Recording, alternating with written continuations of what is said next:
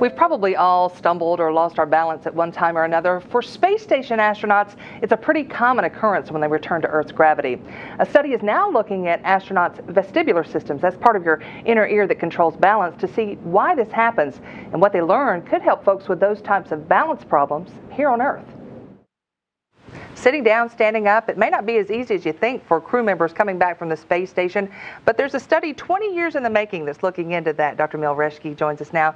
Tell us about this study. First, it was a pilot program. Now it's turning into a real investigation. Yes, in cooperation with our Russian counterparts, we're looking at functional performance.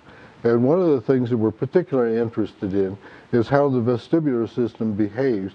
The vestibular system being those organs in your inner ear that uh, maintain your balance and help you see when your head is moving.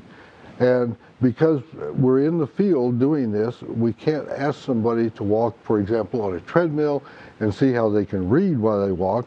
So we simply bounce them up and down while they're trying to read a display. Tell us all about this gear, though, that she has on. Well, we're looking at inertial sensors. They're the ones that are blinking here that give us estimations of the person's angular acceleration and the angles that they are experiencing relative to the ground. We have uh, cardiovascular parameters that we measure, heart rate and blood pressure, as well as uh, EMG from the legs. And so when a crew member, once they get out of the Soyuz, then they suit up in this? Immediately.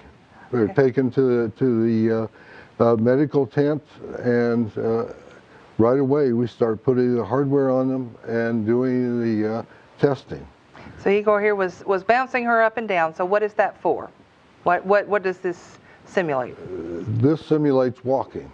Okay. And uh, it also is in a plane that uh, you expect to see as, as you walk and is probably going to be less provocative than doing some other kind of tests of the inner ear organs.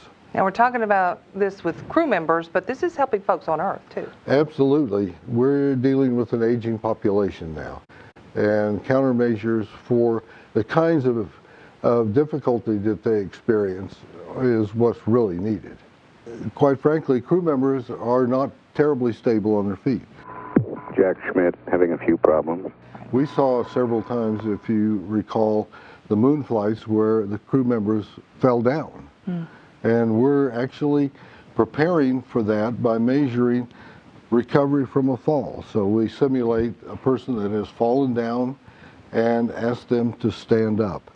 And once because we get to Mars, there's nobody there to help us nobody, stand up. There's nobody to, there to help you. And uh, once they're standing, they stay standing for three minutes. Oh. This this allows us to look at the cardiovascular parameters in terms of uh, feigning, for example. All right, let's see if she can stand up. Oh, that's better than I could do. And so you stand there for three minutes, and that tells you what? Uh, we're looking constantly at position of the body, mm -hmm. sway, how much they're moving, as well as uh, heart rate and blood pressure. So how many tasks do we look at? How, how many little exercises do they have to go through? We have between 12 and 13, including the Russian activity that we, we engage in. Okay, and mm -hmm. so mm-hmm. you have one more for me. One more for you. You're All going right. to do what's called a tandem heel-to-toe walk, which okay. uh, we do with the eyes closed and the eyes open. Wow, I've never done this one before. Promise. I promise, Mom. All right, so cross my arms. Cross your arms. Close my eyes, heel to toe, yep. and walk the See, I have no balance, and I've not even been on, in space. So, so what's the point of this? The point of this is that this particular test looks at Can't do it. at, at, uh, at neurological function as a whole. You know, okay. from the brain on down to the feet. And, well, uh, mine apparently doesn't go together, so. And uh, you did better than some astronauts. I like that. I like that. I'll take that. Thank you, Dr. Reschke. Yes.